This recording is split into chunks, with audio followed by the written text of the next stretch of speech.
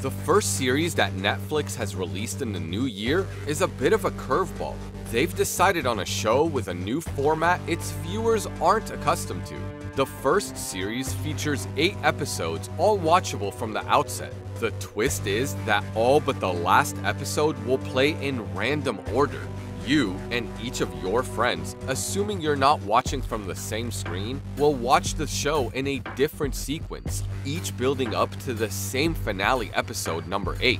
Though a change of pace is often welcome, presenting a show's stars, backgrounds, and supporting characters in different ways, this show leaves a lot to be desired, likely owing to the limitations of the selected format.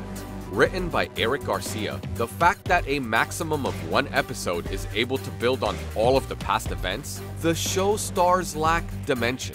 What the creators could have done was organize the show in such a way as to present a radically different perspective of the story in each episode. They did not seize the opportunity. What they did was create something that feels much like if you watched a regular show in random order. Many of the same one-liners and traits of each of the people in the show are uttered over and over since you may be just starting the show on that episode. This results in a limited, cheesy show that feels forced.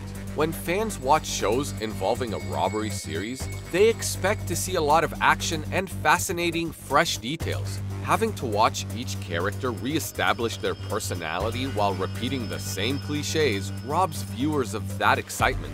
To be fair, the actors in Kaleidoscope are bright, charismatic individuals that enjoy a great chemistry together, but these sparks are short-lived.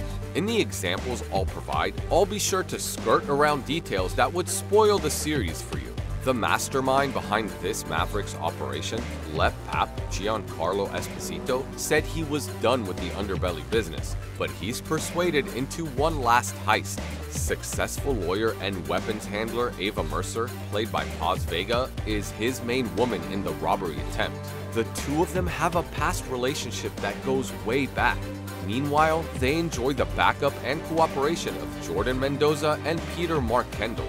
Last and perhaps least are the inexperienced knuckleheads of the bunch. The out of control Bob, played by Jai Courtney, along with his wife Judy Goodwin, played by Rosaline Elbay, a couple that hasn't yet had enough hard knocks to learn from.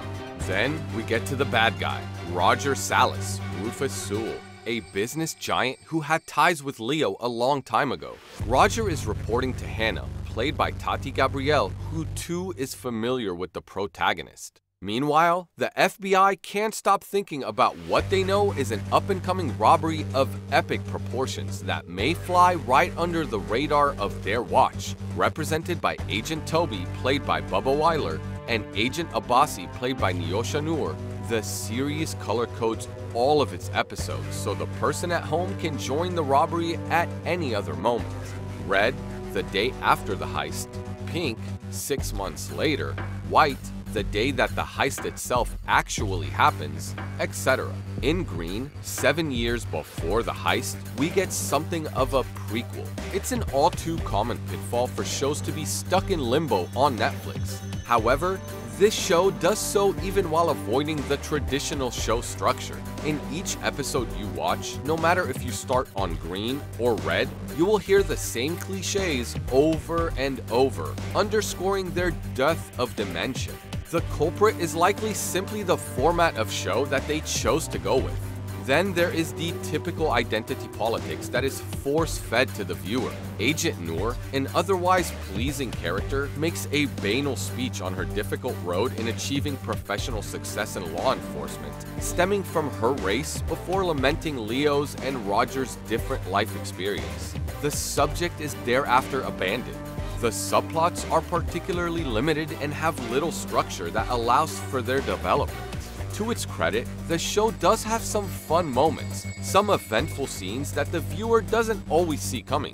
A lot of the actors' chemistry was wasted in what could have developed into something interesting. A traditional series structure could have worked wonders for it. Kaleidoscope's drawbacks for the most part come down to that. On the other hand, maybe its random show order could have been more captivating if kept a little bit shorter as say a 7 episode format instead. Yet the biggest flaw of this series, its randomness, is precisely what has attracted more viewers. Indeed, it may outperform a lot of shows in terms of views, but people will soon forget all about it with new seasons coming out for such favorites as Lucifer, Bridgerton, and The Witcher.